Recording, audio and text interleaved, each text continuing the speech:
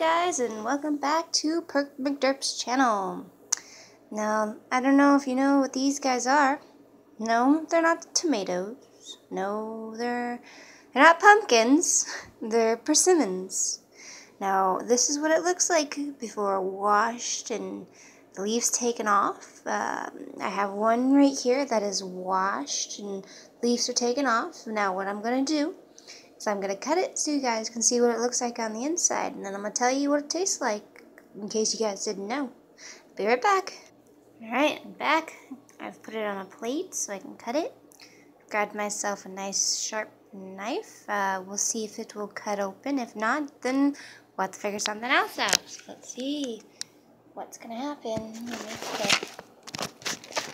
Give me a second.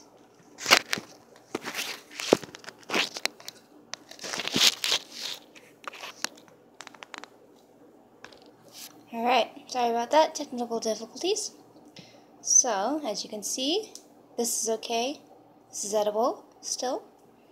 Uh, you want to have it nice and orange, almost like a tomato, but it's not.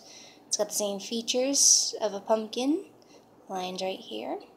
And the toughness of, I don't know, I'd say an apple, but not quite an apple. So it's a mixture of all sorts of things. So what I'm going to do so I'm going to cut it open.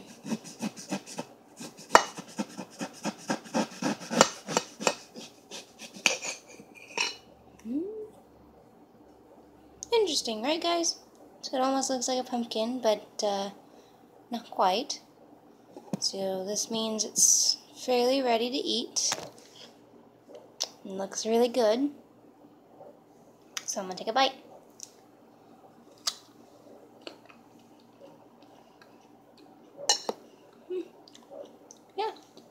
This one's ready. So if you guys didn't know, you want to make sure it's nice and orange.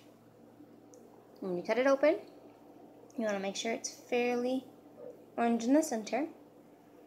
Obviously, I took a bite out of it, so it's going to be hard. But that's how you want it, because that's how persimmons are. They're really healthy, and they're great fruit and you can get them just about anywhere. Um, Vons, Albertsons, uh, markets, little markets, corner markets. So, hmm, why don't you guys give it a try? Tell me what you think.